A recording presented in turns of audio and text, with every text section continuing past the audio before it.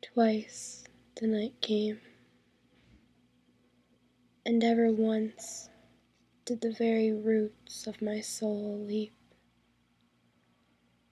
and there, a substance in my throat.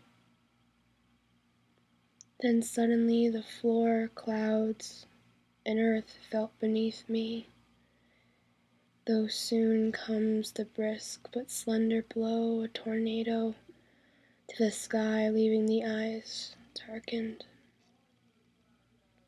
for no one to know.